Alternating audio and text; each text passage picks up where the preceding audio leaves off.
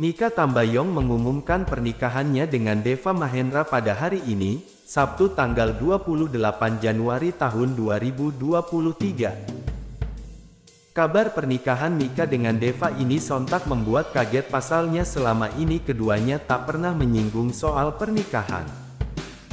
Di hari bahagianya, Mika tampil cantik dalam balutan dress warna putih. Ia mengenakan veil serta membawa bunga mawar putih. Sementara itu Deva tampil gagah dengan jas warna putih serta celana warna coklat.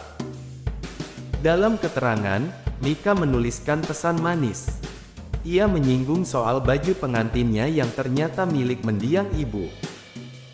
Ia menyebut pernikahan dengan Deva adalah impiannya, 28.01.2023. Married my best friend in my mother's dress.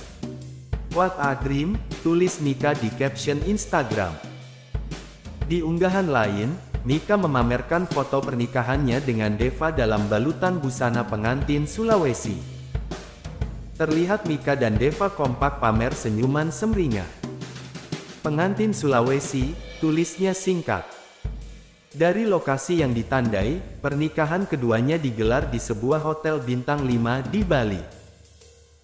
Kolom komentar Mika langsung diserbu ucapan selamat dari artis centang biru dan warganet. Selain ucapan selamat, tak sedikit rupanya yang kaget dengan pernikahan Mika dan Deva, kaget banget dikira cuma photoshoot selamat ya Mbak Mika, kata akun @jy. Ini serius apa becanda sih? Congrats, sambung akun etniko. Gak percaya, ini gak beneran pasti, ujar akun @dev. OMG kaget anu congrats Mika. Seperti diketahui, kisah asmara Mika Tambayong dan Deva Mahendra mulai tercium publik di awal tahun 2021. Namun keduanya disebut-sebut sudah bersama sejak 2020 lalu. Walau beda usia 4 tahun, Deva Mahendra dan Mika Tambayong merupakan pasangan selebriti yang jauh dari gosip miring.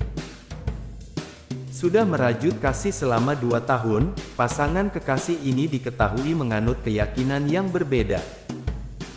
Mika Tambayong memeluk agama Katolik sedangkan Deva Mahendra adalah seorang Muslim.